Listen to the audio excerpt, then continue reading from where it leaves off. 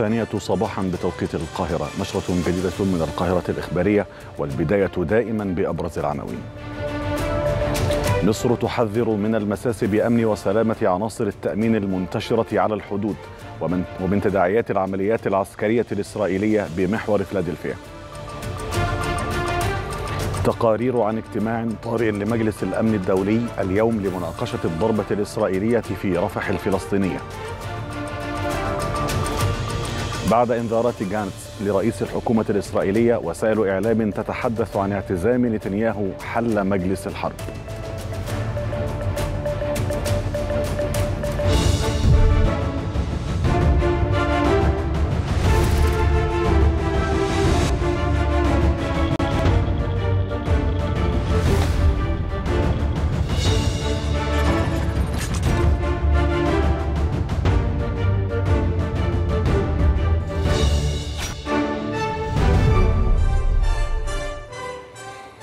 قال مصدر أمني مسؤول إن مصر حذرت من تداعيات العمليات العسكرية الإسرائيلية بمحور فلادلفيا وتحذر من المساس بأمن وسلامة عناصر التأمين المصرية المنتشرة على الحدود.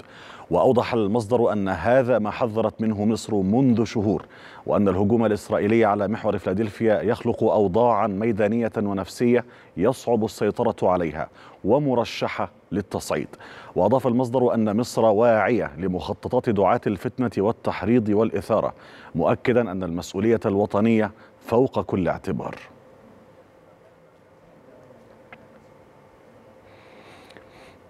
كشف مصدر أمني مطلع عن تشكيل لجان تحقيق للوقوف على تفاصيل حادث إطلاق النيران واستشهاد جندي على الحدود لتحديد المسؤوليات واتخاذ الإجراءات اللازمة لمنع تكراره مستقبلا. وأضاف أن التحقيقات الأولية تشير إلى إطلاق نار بين عناصر من الاحتلال الإسرائيلي وعناصر من المقاومة الفلسطينية أدت لإطلاق النار بعدة اتجاهات وقيام عناصر التأمين المصري باتخاذ الإجراءات الحمائيه والتعامل مع مصدر النيران. وقال مصدر أمني مطلع أن على المجتمع الدولي تحمل مسؤولياته من خطورة تفجر الأوضاع على الحدود المصرية مع غزة ومحور فلادلفيا. ليس امنيا فقط لكن لمسارات تدفق المساعدات الإنسانية. مضيفا إلى أن مصر حذرت من تداعيات العمليات العسكرية الإسرائيلية بمحور فلادلفيا. يأتي هذا فيما أكد مصدر رفيع المستوى أن مصر تحذر من المساس بأمن وسلامة عناصر التأمين المصرية المنتشرة على الحدود.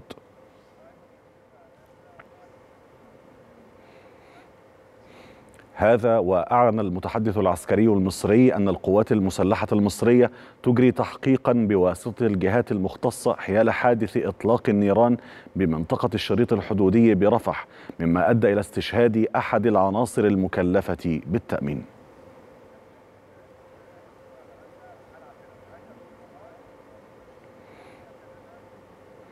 وإلى تداعيات العدوان على غزة.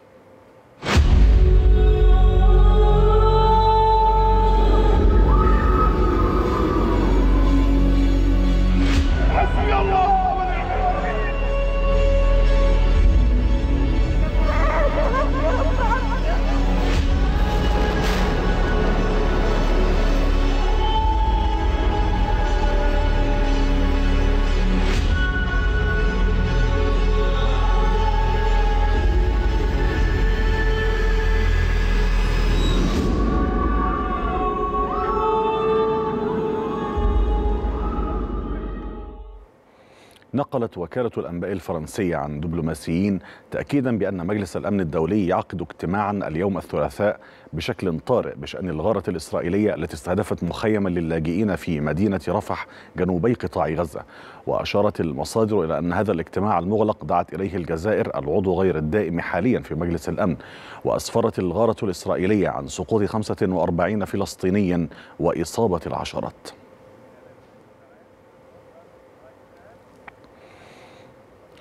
أدان الأمين العام للأمم المتحدة أنطونيو جوتيريش المجزرة الإسرائيلية في رفح الفلسطينية ودعا الأمين العام للمنظمة الدولية إلى إنهاء الرعب والفظائع في قطاع غزة مؤكدا على ضرورة وقف الحرب الإسرائيلية على قطاع غزة.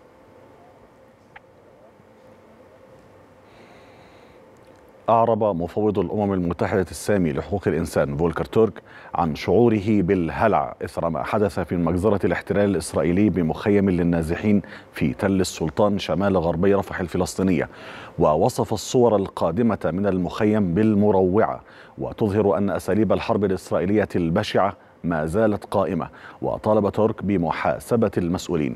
ودعا أيضا الفصائل الفلسطينية إلى التوقف عن إطلاق الصواريخ وإطلاق سراح جميع الرهائن فورا ومن دون شروط.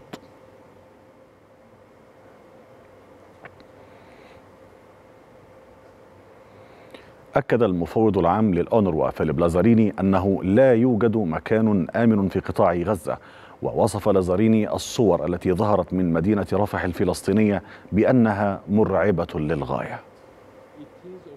لا أستطيع التعليق على الخسائر البشرية لأننا لم نتمكن من التواصل بشكل صحيح مع فريقنا على الأرض. لقد رأيت الصور إنها مزعجة ومرعبة للغاية. أعتقد أننا كنا واضحين أكثر من مرة. لا توجد منطقة آمنة في غزة. وصف البيت الأبيض الصور الواردة بعد الغارة الإسرائيلية على مدينة رفح الفلسطينية بأنها مدمرة. وأكد البيت الأبيض أن الإدارة الأمريكية تتواصل بشكل فعال مع الجيش الإسرائيلي والشركاء في الميدان لتقييم ما حدث في رفح الفلسطينية. كما طالب البيت الأبيض إسرائيل باتخاذ الإجراءات والاحتياطات الممكنة لحماية المدنيين الأبرياء في غزة.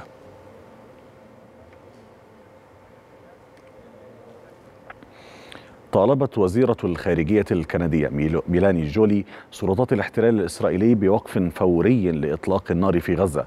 وقالت جولي إن كندا تشعر بالفزع إزاء ضربات أودت بحياة مدنيين فلسطينيين في مخيم للنازحين في رفح الفلسطينية مؤكدة أن كندا لا تؤيد أي عملية عسكرية إسرائيلية في رفح الفلسطينية.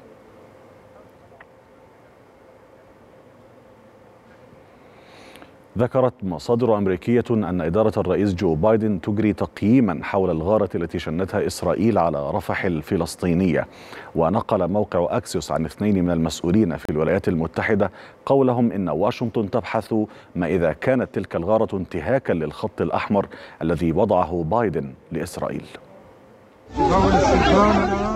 خطوط حمراء غير معلوم مداها وتأثيرها. تتحدث عنها الإدارة الأمريكية تارة لمنع أي هجوم على رفح الفلسطينية وتارة أخرى للحديث عن عملية دقيقة ومحدودة. فالبيت الأبيض يقيم الآن بحسب متحدثيه ما إذا كانت إسرائيل قد انتهكت الخط الأحمر لبايدن بقصف مخيم تل السلطان للنازحين في رفح الفلسطينية. محرقة الخيام بدأت كواليسها تتضح. فقد قال مسؤول أمريكي رفيع المستوى لموقع أكسيوس أن مستشار الأمن القومي للبيت الأبيض جاك سوليفان حين كان في إسرائيل الأسبوع الماضي شعر بأن كثيرا من المخاوف الأمريكية قد تمت معالجتها من قبل دولة الاحتلال الإسرائيلي. تقييم سوليفان أدى لتخفيف الولايات المتحدة من معارضتها لتوسيع جيش الاحتلال من عملياته في رفح الفلسطينية. وهو ما أعقبته قوات الاحتلال مباشرة بمجزرتها الوحشية في مخيم تل السلطان ما أسفر عن سقوط عشرات الشهداء من النساء والأطفال. الولايات المتحدة وهي أكبر داعم لدولة الاحتلال الإسرائيلي تمارس ازدواجا فريدا في المعايير تجاه فلسطين فبينما تمد جيش الاحتلال بالأسلحة والذخائر القاتلة للغزيين تعمل على إنشاء رصيف بحري لإمداد غزة بالمساعدات الإنسانية. وفي الأروقة الدولية الفيتو الأمريكي حاضر دائما لوقف أي محاولة أو قرار أممي لوقف العدوان على غزة وإنهاء معاناة الشعب الفلسطيني. مواقف إدارة بايدن بهذه الصورة تثير دائما التساؤل. متى تضيء الخطوط الأمريكية باللون الأحمر؟ لتتوقف إسرائيل عن جرائمها بحق الفلسطينيين في قطاع غزة منذ السابع من أكتوبر الماضي.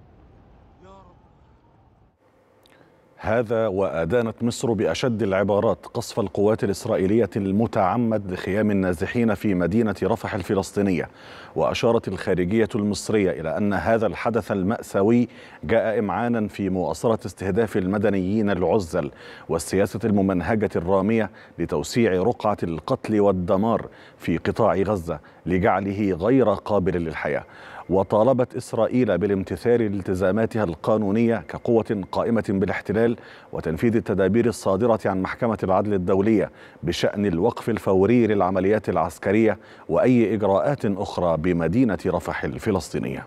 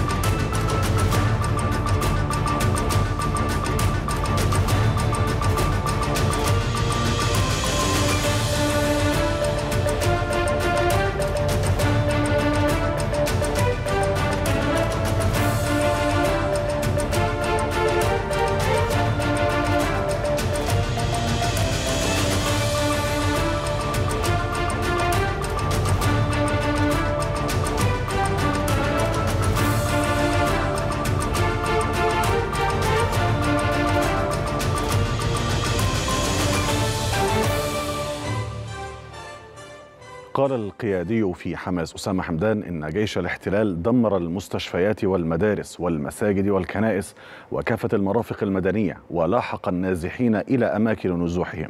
ووصف حمدان ادعاء الاحتلال بوجود مسلحين في موقع مجزرة رفح الفلسطينية وقح وكاذب محملا الإدارة الأمريكية والرئيس بايدن المسؤولية الكاملة عن هذه المجزرة. وطلب حمدان المجتمع الدولي باتخاذ موقف واضح لوقف مجازر الاحتلال واتخاذ قرار بإنفاذ قرارات محكمة العدل الدولية بالإضافة إلى فرض عقوبات على الاحتلال ووقف تسليحه.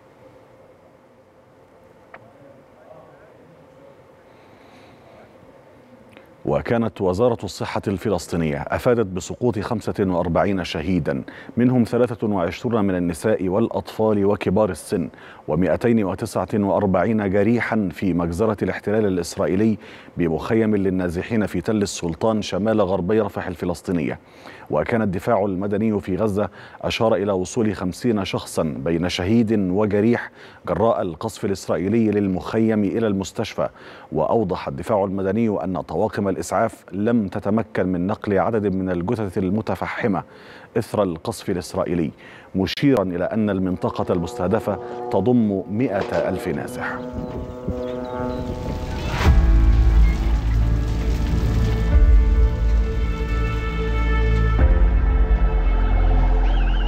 وأشرقت الشمس فكشفت ما دبر بالليل إنها رفح الفلسطينية جريمة حرب مروعة ارتكبها جيش الاحتلال في مخيم تل السلطان للنازحين الغزيين. ما فيش ولا حاجة ولا أي شيء ما سمعنا إلا صوت عالي جدا والنار ولعت حوالينا.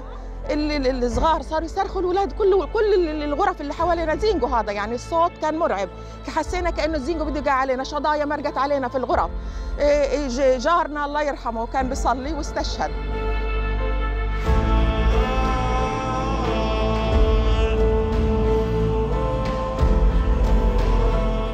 نيران محرقة فحمت أجساد النساء والأطفال داخل خيامهم فأصبحوا بين ليلة وضحاها متراصين داخل أكفان بيضاء بينما انتحب ذووهم شبابا وأطفالا على فراقهم في لحظة أخيرة قبل مواراة شهدائهم الثرى.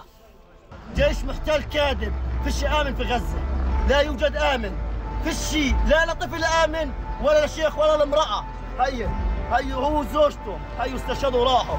ترك ترك الأطفال أبرياء إيش ذنبهم إيش ذنب الأطفال تتيتم؟ حسبي الله ونعم الوكيل وبس.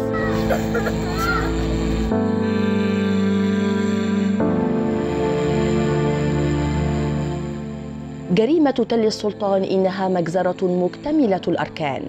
حولت عشرات الغزيين إلى أرقام في دائرة قتل وحشية لا تتوقف عن حصد أرواح الشهداء الفلسطينيين. غزة كل يوم تنحرق. كل يوم وكل ساعة. إحنا ما زال بننحرق هم انحرقوا مرة واحدة ولكن إحنا انحرقنا كل يوم. بننحرق وكل يوم بنولع.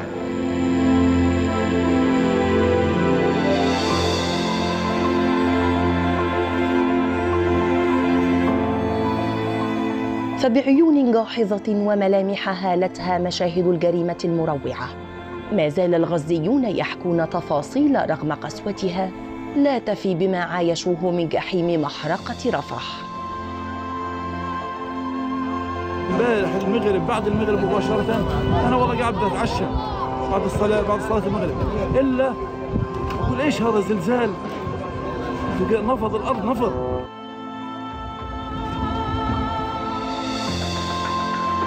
شهادات الغزيين على الجرائم الإسرائيلية ليست مجرد حكايات تروى بل واقعا مريرا منذ عقود عديدة يحيوه يوميا فغزة أهلها يحرقون ويقتلون ليلا ونهارا.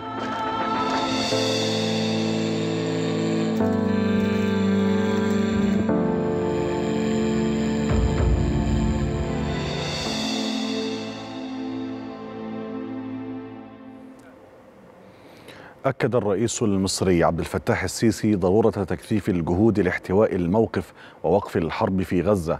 لوضع حد للمأساة الإنسانية المستمرة التي يعيشها أهالي القطاع. وخلال لقائه مع وفد من أعضاء الكونغرس الأمريكي تناول الرئيس المصري المخاطر الناجمة عن العمليات العسكرية الإسرائيلية في مدينة رفح الفلسطينية وتداعياتها الإنسانية والأمنية. كما أكد الرئيس المصري ضرورة الانخراط الدولي الجاد في تطبيق حل الدولتين وفقا لقرارات الشرعية الدولية بوصفه مسار تحقيق العدل والسلام والأمن لجميع شعوب المنطقة. من جانبه أشاد الوفد الأمريكي بالجهود المصرية في إدخال المساعدات الإنسانية لأهالي قطاع غزة.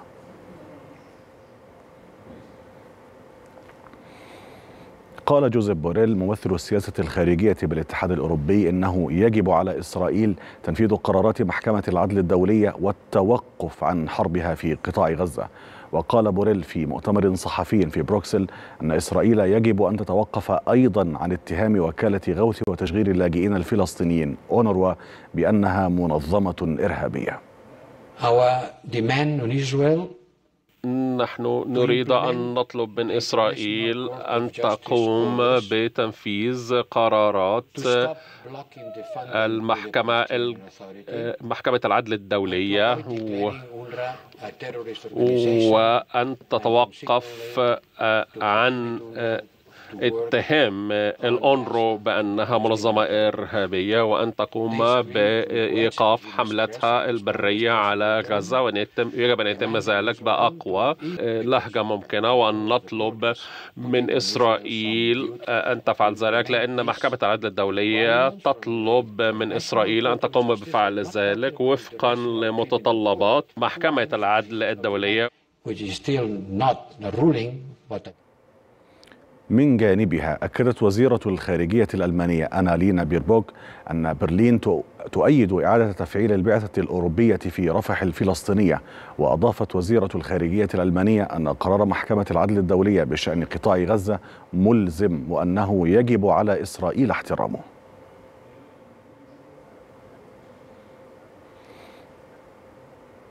قال المتحدث باسم الاتحاد الأوروبي لويس ميغيل بوينو إن الاتحاد يبذل جهودا مشتركة مع مصر ودول أخرى في المنطقة لدعم السلطة الفلسطينية. وفي تصريحات خاصة للقاهرة الإخبارية أكد ميغيل بوينو أن هناك خطة عربية أوروبية لدعم عملية السلام مشيرا إلى أن الاتحاد الأوروبي يواصل الضغوط على إسرائيل لوقف الحرب على غزة. هذه الجهود المشتركة التي نقوم بها مع شركائنا العرب سواء كان مصر ودول أخرى في المنطقة هي في نفس الاتجاه. الاتجاه الذي كما قلت يعني الاتجاه اللي دعم السلطة الفلسطينية. هناك خطة أيضا عربية لإحياء عملية السلام. هناك خطة أوروبية رؤية أوروبية تتعلق أيضا بهذا الأمر. والضغوطات على السلطات الإسرائيلية مستمرة. ليس فقط على المستوى الأوروبي وإنما من قبل دول مختلفة في الاتحاد الأوروبي تلاحظون بأن هناك اتصالات ومشاورات بين رؤساء ووزراء من هذه الدول مع الحكومة الإسرائيلية الحالية من أجل ليس فقط وقف هذه الحرب وإنما أيضا من أجل الامتثال بهذه الأوامر الملزمة للمحكمة العادلة الدولية اللي هي على محكمة في العالم. أفادت وسائل إعلام فلسطينية بوقوع قصف مدفعي وجوي استهدف المناطق الوسطى والغربية والشرقية من مدينة رفح الفلسطينية. وذكرت وسائل الإعلام الفلسطينية أن هناك اشتباكات مستمرة وقوية مع قوات الاحتلال في محيط مسجد العودة وسط مدينة رفح الفلسطينية.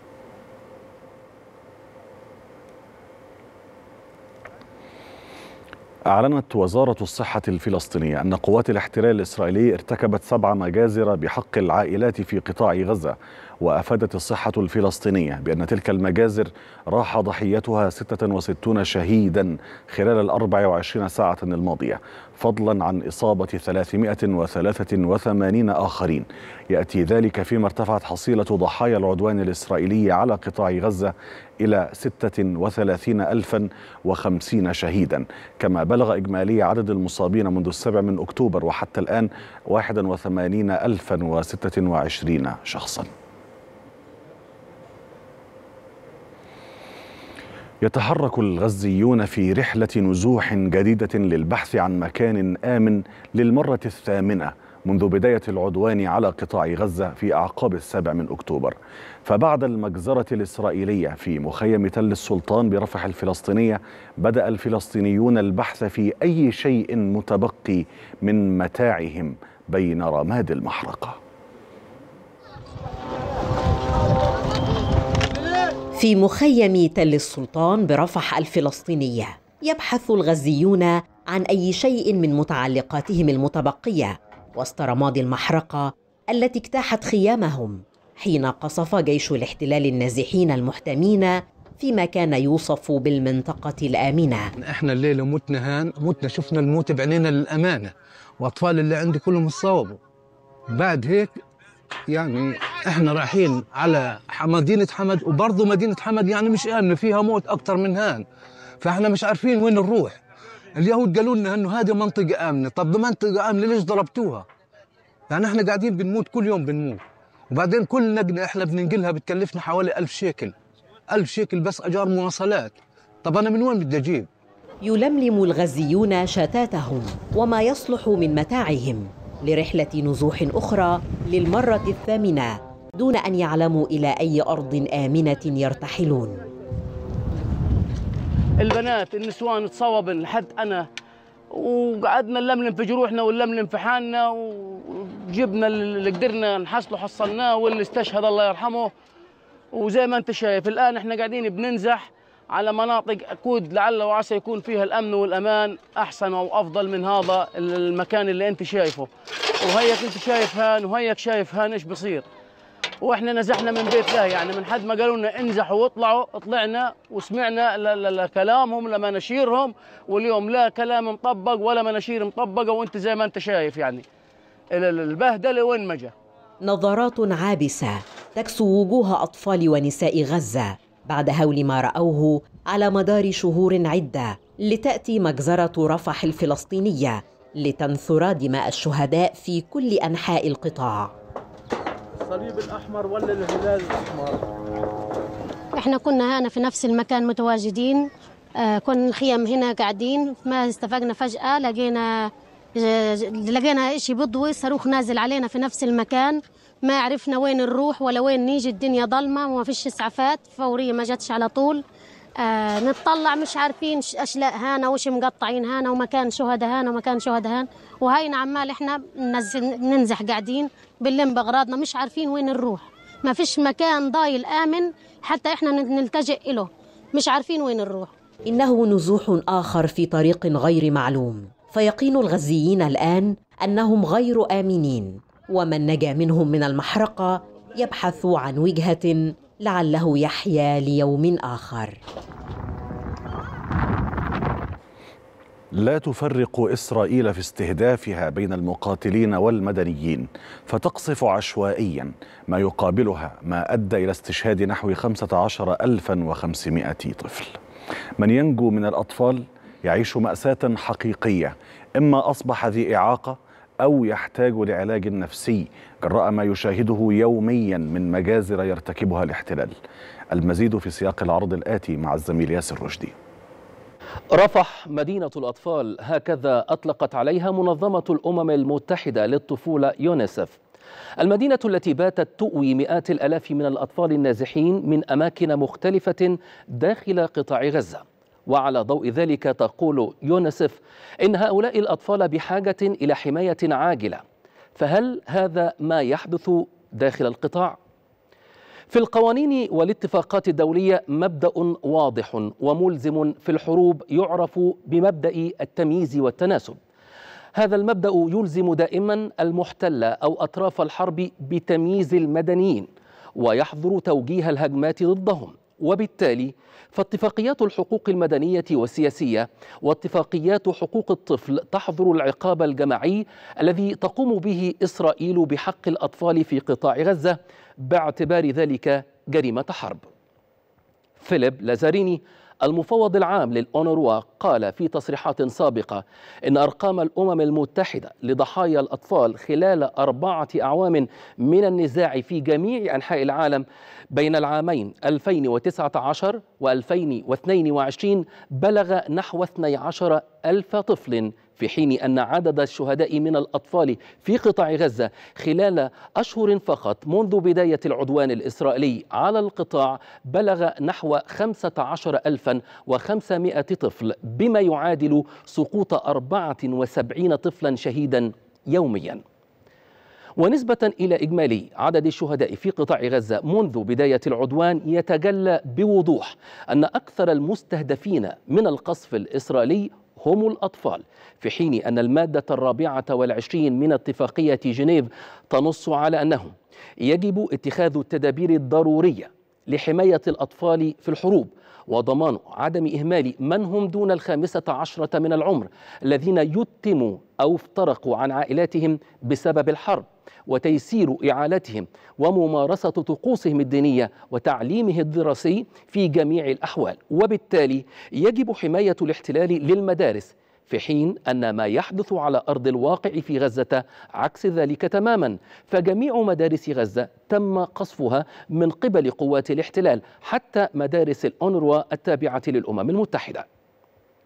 القصف العشوائي الإسرائيلي ليس فقط المسؤول عن معاناة الأطفال في قطاع غزة إذ أن عددا كبيرا منهم سقطوا شهداء جراء سوء التغذية وانتشار الأمراض التي سببها عدوان الاحتلال في جميع أراضي القطاع. فمنظمة الصحة العالمية تقول إن عدد الأطفال الذين توفوا خلال الحرب على غزة بسبب سوء التغذية وانتشار الأمراض يزداد يوما بعد يوم بجانب أن نحو عشرين ألف طفل أصبحوا يتامى جراء قتل نحو أحد عشر ألف امرأة كما تقول الأونروا إن عشرات الألاف من الأطفال أصبحوا ذوي إعاقات بسبب إصاباتهم في القصف المتواصل يونيسف هي الأخرى تقول إن نحو مليون طفل فلسطيني في غزة يعانون من أزمات نفسية. وإن هؤلاء الأطفال يحتاجون إلى خدمات الدعم النفسي والاجتماعي وإعادة التأهيل المتخصصة وهي بالطبع خدمات غير متوفرة داخل القطاع جراء قصف المستشفيات والمراكز الصحية والاجتماعية في غزة. ومن ثم تعطل القطاع الصحي والاجتماعي بالكامل في القطاع رغم أن القانون الدولي يحظر تماما قصف مثل تلك المنشآت. إذا كانت إسرائيل ترتكب جرائم قتل بحق شيوخ ونساء ورجال في غزة تحت ذريعة انتمائهم لفصائل فلسطينية وهو الأمر الذي بالمناسبة نفته منظمات أممية ومسؤولون دوليون. فكيف ستبرر قتلها الآلاف من الأطفال والذين من بينهم رضع دون خمسة أعوام؟ دعت المقررة الخاصة للأمم المتحدة المعنية بحقوق الإنسان في الأراضي الفلسطينية فرانشيسكا ألبانيز إلى فرض عقوبات دولية وحظر وتعليق العلاقات مع إسرائيل بسبب تحديها أمر محكمة العدل الدولية. وقالت أن إسرائيل تكثف هجماتها على رفح رغم أوامر المحكمة بوقف هجومها. وأضافت البانيز أن إسرائيل لن تتوقف عن ما وصفته بالجنون حتى حتى توقفه الأمم المتحدة بنفسها بفرض عقوبات وحظر على الأسلحة وتعليق العلاقات الدبلوماسية والسياسية.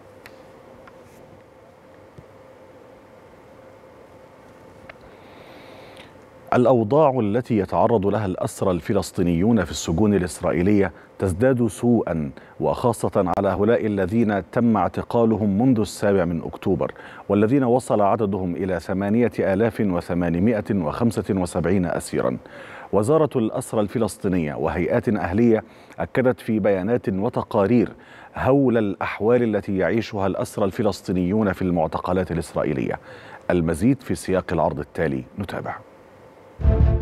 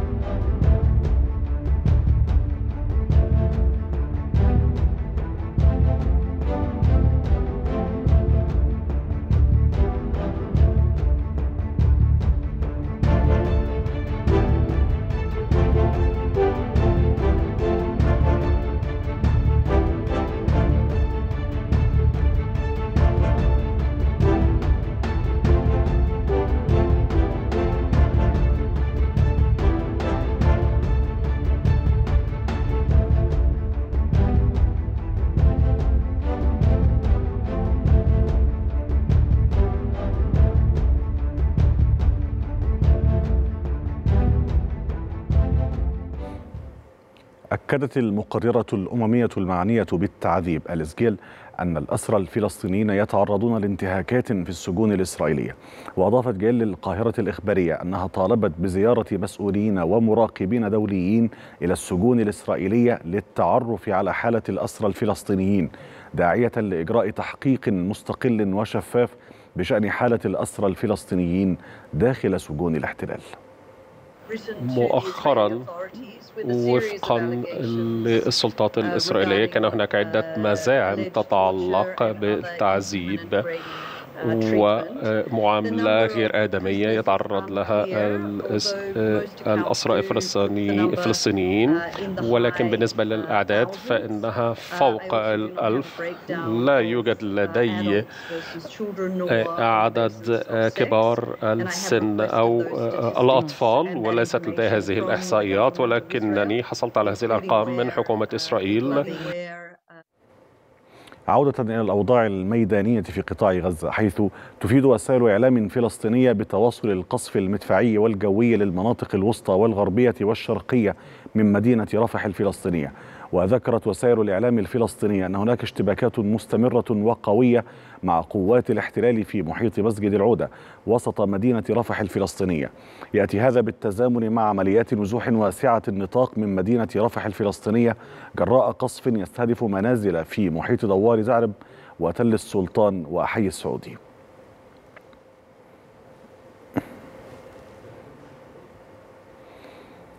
للمزيد ينضم إلينا من خان يونس مراسلنا يوسف أبو كويك. يوسف أهلا بك. هل أطلعتنا على تفاصيل القصف المدفعي والجوي الذي استهدف مناطق متفرقة من من منطقة رفح الفلسطينية؟ نعم في الحقيقة العملية البرية تتسع يوما بعد آخر في مدينة رفح حيث طال القصف المدفعي هذه المرة المناطق الغربية من المدينة وهي مناطق لم يطلب منها الاحتلال الإسرائيلي الإخلاء على غرار ما جرى مع شرق المدينة حيث وصلت القذائف المدفعية إلى الحي السعودي في المنطقة الغربية من رفح إضافة إلى عدة منازل في محيط دوار زعرب خاصة أن هناك شقتين سكنيتين استهدفتا من قبل الطائرات الحربية الإسرائيلية إضافة أيضا إلى ارتقاء سبعة شهداء إثر غارة استهدفت منزلا لعائلة الحشاش في منطقة عريبة وكذلك ستة من الإصابات التي نقلت باتجاه المشفى الإماراتي في المنطقة الغربية من مدينة رفح بعد فقدان المشفى الكويتي القدرة على استقبال أي من الجرحى وإخلاء هذه المشفى ونقلها نحو المشفى الميداني في المنطقة الغربية من محافظة خان يونس. وعمل أيضا بعض الطواقم في مشفى الإمارات غرب مدينة رفح نظرا لأن هذه المنطقة باتت منطقة خطرة ولا تستطيع سيارات الإسعاف التحرك هناك ولا حتى أن المواطنين يتمكنون من نقل المصابين إلى هذه المشفى لأنها على مشارف منطقة الشابورة الغربية وهي منطقة تتعرض منذ ساعات إلى قصف مدفعي عنيف حالها حال مخيم يبنى الواقع إلى الجنوب من مدينة رفح حيث استهدفت المدفعية الإسرائيلية عدة منازل إضافة إلى نسف بعض أو تدمير بعض البنايات بالطائرات الحربية الإسرائيلية. الوضع في مدينة رفح يشي باتساع نطاق العملية البرية خاصة بعد وصول آليتين إسرائيليتين إلى ما يعرف بتلة زعرب غرب المدينة وهو أمر خلق حالة من الخوف والهلع لدى المواطنين بإمكانية وصول هذه الآليات في أي ساعة نحو المناطق الغربية من مدينة رفح. حتى وإن اقتصر هذا التقدم في محور صلاح الدين أو ما يسميه الاحتلال محور فيلادلفيا. لذلك هناك تطورات ميدانية متسارعة خاصة وأن الآليات الإسرائيلية أيضا تحركت من منطقة بوابة صلاح الدين باتجاه مدرسة السبع وهي مدرسة قريبة من ما يعرف بالدوار الشرقي. وهناك تجري اشتباكات ما بين المقاومة الفلسطينية وهذه الآليات. نعم يوسف يعني هناك بعض وسائل الإعلام تحدثت عن تحركات عسكرية مدعومة بغطاء جوي. هل لديك تفاصيل ومعلومات عن هذه الأخبار؟ بالفعل كل تقدم بري يجري في مدينة رفح منذ اليوم الأول لهذه العملية البرية التي بدأت في السابع من الشهر الجاري يكون هناك تمهيد ناري إما من خلال الطائرات الحربية الإسرائيلية التي يسمع دويها أيضا من هذه المنطقة حيث نقف في مدينة خان يونس إضافة إلى القصف المدفعي المتواصل وفي هذا التوقيت. ونحن نتحدث نستمع إلى دوي انفجار على ما يبدو أيضا في مدينة رفح. هذه المدينة التي يتعرض الآن وسطها إلى القصف المدفعي والجوي في إطار ما يسمى بالتمهيد الناري لتقدم الآليات الإسرائيلية التي بدأت تناور على ما يبدو للتمركز وسط مدينة رفح وهذا يعني اتساع نطاق العملية من محور صلاح الدين باتجاه المناطق الغربية وكذلك مناطق الوسط لا سيما منطقة يبنى وهو أمر يعني تقدم هذه الآليات باتجاه أيضا مشارف المنطقة الجنوبية الشرقية من مخيم الشابورة التي لوح الجيش الإسرائيلي في أكثر من مناسبة بأن جيشه يعمل في تلك المنطقة. وكنا قد أشرنا سابقا أن الجيش بآلياته أو جنود المشاة لم يقتحموا أو يدخلوا إلى منطقة الشابورة وإنما هناك سيطرة نارية للآليات الإسرائيلية التي تمركزت عند بوابة صلاح الدين على مشارف المنطقة الشرقية من الشابورة. إضافة إلى أن الطائرات بأنواعها المختلفة لا سيما الطائرات المروحية التي تطلق نيران أسلحتها الرشاشة صوب زقاق تلك المنطقة. وهنا أتحدث عن منطقة الشابورة. أو ما تعرف بطائرات الكواد كابتر التي تهدد كل من يتحرك بالمنطقة. وفي ساعات المساء الأخيرة يوم أمس استهدفت الطائرات الإسرائيلية اثنين من الطواقم العاملة داخل المشفى الكويتي وسط المدينة. لذا بات باتت الأمور أكثر تعقيدا في مدينة رفح. وواضح أن الاحتلال لم يلتزم بما أصدرته محكمة العدل العليا التي دعت إلى وقف العملية البرية في رفح. وإنما كان الرد الإسرائيلي بتوسيع نطاق هذه العملية البرية. نعم يوسف، يعني حتى أتأكد أنني فهمت هذه النقطة منك بشكل صحيح، هل أفهم منك الآن أن جيش الاحتلال يحاول أن يتمركز في وسط في وسط مدينة رفح الفلسطينية؟ حتى اللحظة لا نستطيع أن نقول أن الاحتلال يتمركز وسط المدينة لأنه منذ عدة أيام هو يسيطر على بوابة صلاح الدين يتقدم باتجاه مدارس تعرف مدارس نحن نتحدث عن تمهيد. يقوم بعملية مناورات عسكرية. نعم نتحدث عن إعادة تموضع إعادة انتشار لهذه الآليات لكن عملية التمركز كما تابعنا منذ اليوم الأول لعملية رفح البرية أن الاحتلال يتقدم ببطء. هذه الآليات التي وصلت إلى مشارف وسط المدينة لم تتمركز بعد وإنما هي تسيطر ناريا وتستطيع أيضا التحرك في وسط المدينة. لكن هي عمليات مناورة تقدم ومن ثم عودة نحو بوابة صلاح الدين كما جرى مساء يوم أمس حينما تقدمت آليتين عسكريتين. يبدو أنهم ريبوت ولا يوجد فيها جنود، هذه الآليات وصلت إلى تلة زعرب وهي أقصى تقريبا ما وصلت إليه الآليات الإسرائيلية باتجاه الغرب، وبهذا التقدم كانت قد تجاوزت منطقة يبنى وتجاوزت أيضا منطقة المشفى الكويتي وباتت على مشارف المنطقة الغربية من منطقة يبنى، لذلك لا نستطيع أن نقول إن الاليات تمركزت تقوم بعملية مناورة. هي وصلت إلى تله زعرب ومن ثم عادت مجددا باتجاه الشرق عند مسجد ذو النورين الأقرب إلى بوابة صلاح الدين. وفكرة الوصول إلى الكراج الشرقي من مدينة رفح كان قد حصل في الأيام الماضية. باتت الآليات على مشارف منطقة الكراج الشرقي ومن ثم تراجعت إلى منطقة بوابة صلاح الدين. لذلك حتى هذه اللحظة لا نتحدث عن تمركز للآليات الإسرائيلية في وسط المدينة وإنما هناك قدرة نارية للسيطرة على وسط المدينة وهذه الآليات تناور. هي تقترب من وسط المدينة بالفعل ولا يفصلها سوى بضع مئات من الأمتار. لأننا حينما نقول أن آليات الاحتلال عند بوابة صلاح الدين يعني أن هذه الآليات لا تبتعد سوى ربما 400 متر فقط عن منطقة الكراج الشرقي ومنطقة العودة وهي تقدمت عند مدارس السبع. ما يعني أنها لم تبتعد سوى 100 متر عن منطقة الكراج الشرقي لكنها لم تبقى هناك. عادت إلى بوابة صلاح الدين. مم. هذا التقدم أيضا الذي يجري في ساعات آه، الليل.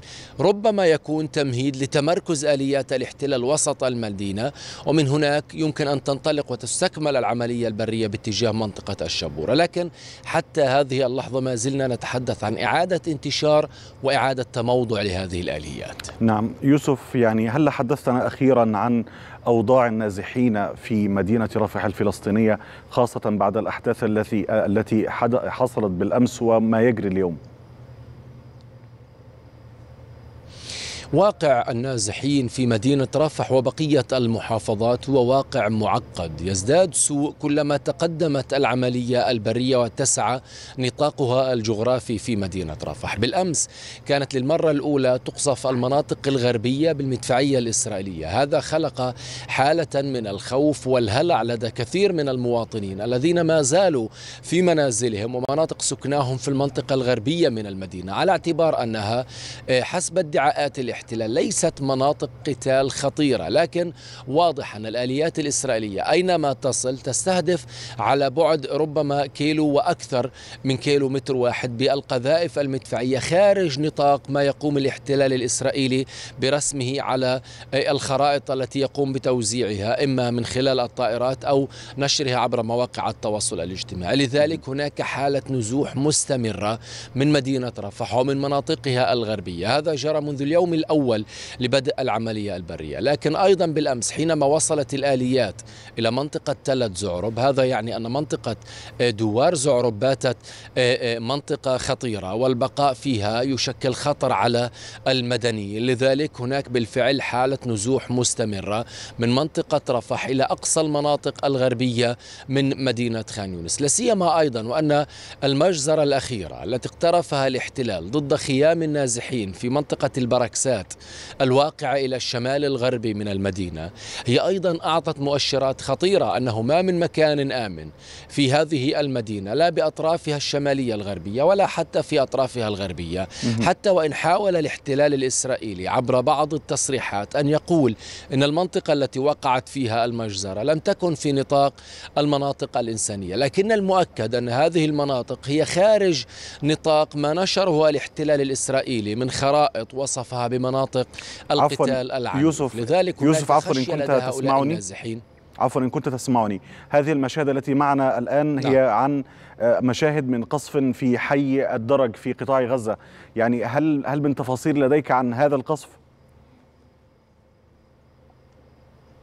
بالفعل في حي الدرج آه، الليلة استهدف الاحتلال الإسرائيلي منزلا أثريا من منازل هذا الحي. هناك آه، أنباء حسب المصادر المحلية الفلسطينية عن أن طواقم الدفاع المدني استطاعت انتشال جثمين ستة شهداء بينما البحث جار عن آه، آخرين تحت الأنقاض إن كانوا أحياء أو أنهم باتوا في عداد القتلى. لكن حسب الدفاع المدني فإنه حتى هذه اللحظة لا يسمع صوت لمن هم باتوا في عداد القتلى أو المفقودين. إن صح التعبير أسفل هذه الأنقاض ولكن هناك بحث جار من قبل آه، آه، رجالات الدفاع المدني بأدوات بسيطة جدا تكاد تكون بدائية في محاولة للوصول إلى جثمين الشهداء. وهي ليست المرة الأولى في غضون الساعات والأيام الأخيرة التي تستهدف فيها المناطق الشرقية من مدينة غزة. نعم. مراسلنا من خان يونس يوسف أبو كريك شكرا لك.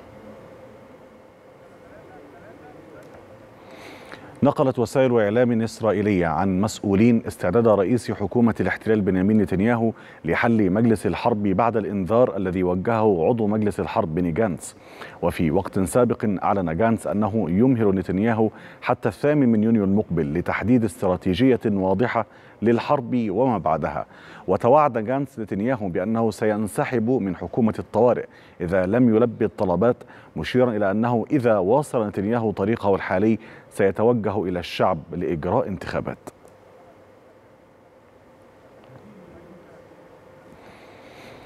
تفاقمت الخلافات بين المسؤولين في إسرائيل خاصة بين زعيم المعارضة يائير لبيد ورئيس الحكومة بنيامين نتنياهو. وخلال لقاء في الكنيست أكد لبيد أن نتنياهو لا يصلح لقيادة الحكومة بعدما تسبب في أكبر إخفاق في إسرائيل.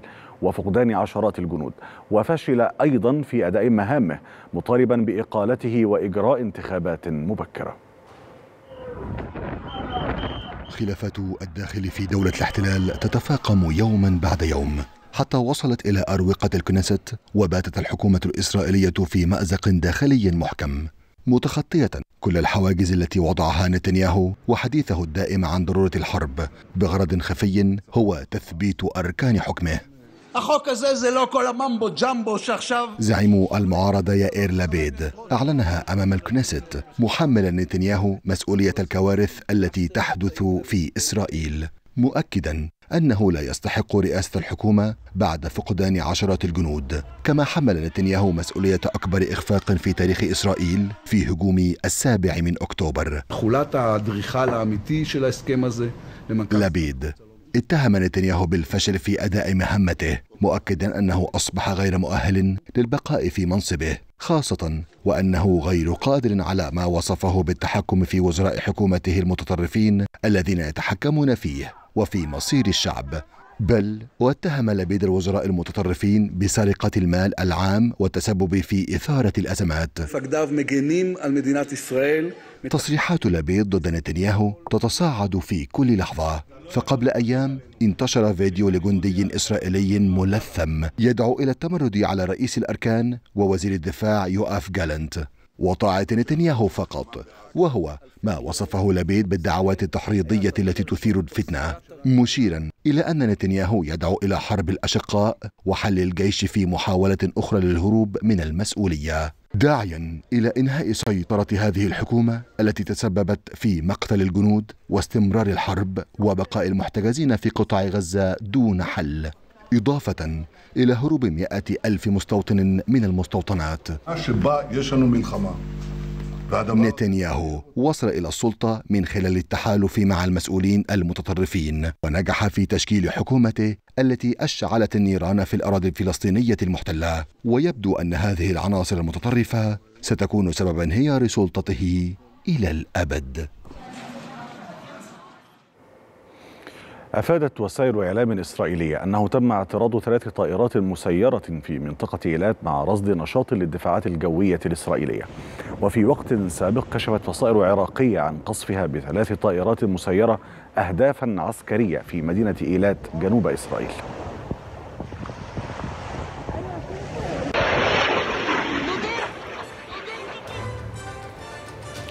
إلى هنا تنتهي نشرتنا وهذه تذكرة بالعناوين. مصر تحذر من المساس بأمن وسلامة عناصر التأمين المنتشرة على الحدود ومن تداعيات العمليات العسكرية الإسرائيلية بمحور فيلادلفيا تقارير عن اجتماع طارئ لمجلس الأمن الدولي اليوم لمناقشة الضربة الإسرائيلية في رفح الفلسطينية. بعد إنذارات جانتس لرئيس الحكومة الإسرائيلية وسائل إعلام تتحدث عن اعتزام نتنياهو حل مجلس الحرب.